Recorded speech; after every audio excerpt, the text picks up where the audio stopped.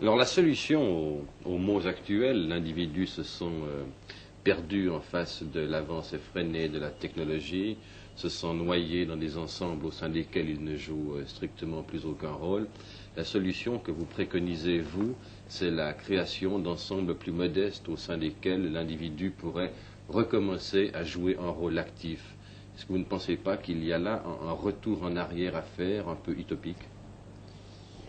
Oui, je pense que nous avons besoin d'utopie aujourd'hui, n'est-ce pas?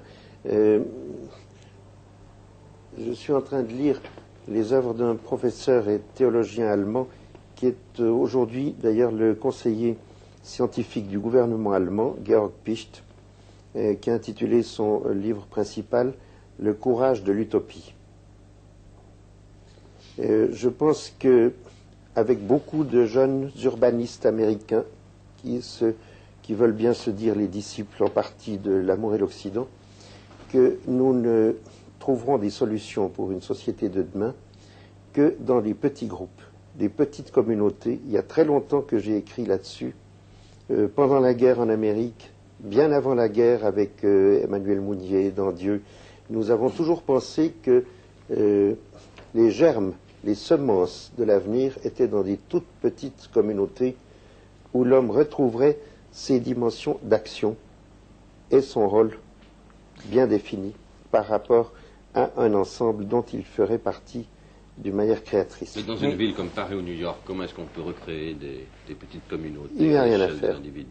Il n'y a rien à faire, il faut en sortir, il faut utiliser ces villes uniquement comme place d'échange mais il ne faut plus y vivre.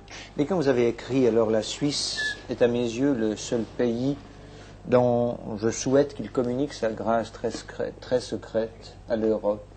Pour vous, c'était une, solution possible? La Suisse est faite de petites communautés. N'oublions pas que la Suisse est née de communes. Elle est née des trois communes forestières autour du Gotthard, qu'on a appelé canton beaucoup plus tard.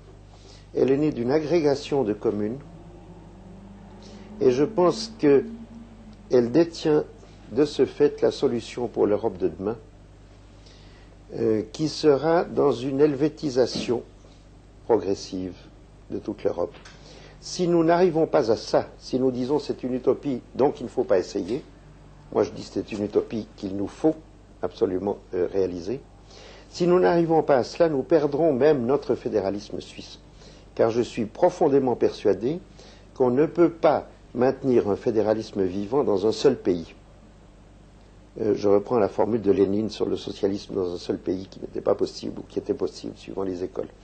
Euh, je pense que si nous arrêtons les processus du fédéralisme en Suisse à nos frontières, euh, nous finirons par être forcés de devenir un petit État centralisé comme tous les autres qui nous entourent. notre seul espoir de survie comme Suisse, c'est d'étendre la formule suisse de proche en proche à toute l'Europe.